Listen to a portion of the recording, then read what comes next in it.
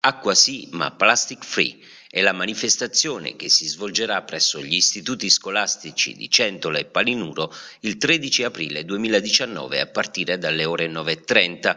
L'incontro è stato organizzato dal Comune di Centola, Consac Gestioni Idriche, Parco Nazionale del Cilento, Vallo di Diano Alburni, Lega Ambiente Campania, Ministero dell'Ambiente e Regione Campania. L'iniziativa è finalizzata all'educazione e sensibilizzazione degli studenti a non usare più la plastica. Durante l'evento saranno distribuite a tutti gli alunni borracce di alluminio riutilizzabili.